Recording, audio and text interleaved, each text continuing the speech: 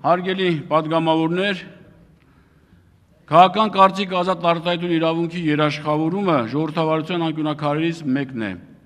Այն անհրաժեշտ պայման է ժողովրդավարական հասարակությունում պատշաճ քաղաքական բանավեճ ծավալելու համար։ Այդուհանդերձ քաղաքական կարծիքի արտահայտումը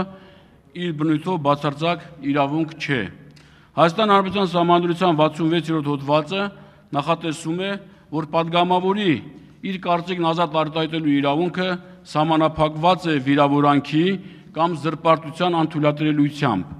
Այսինքն, այդ իրավունքը սահմանափակված է, եւ դրա կիրառումը շեղում է իր իրական նպատակից ազատ քաղաքական բանավեճ ծավալելուց։ Նաև ԵԽՎ կանոնակարգի 21.6 հոդվածն է պարունակում մարդկային արժանապատվությունը ոտնահարող արտահայտությունների օգտագործման արգելք։ Հաշվի առնելով падգամավոր Զարուհի Փոստանջանի վարկագիծը 3 ԵԽՎ նիստի ընթացքում եւ իմ գտնելով ազգային ժողովի կանոնակարգ Հայաստանի Հանրապետության օրենքի 18-րդ հոդվածի առաջին մասի Է ենթակետը հայտարարում եմ, որ խորհրդակցել եմ ազգային ժողովի խմբակցությունների հետ եւ մտադիր եմ փոփոխություն կատարել ԵԽՎ-ում Հայաստանի պատվիրակության կազմում։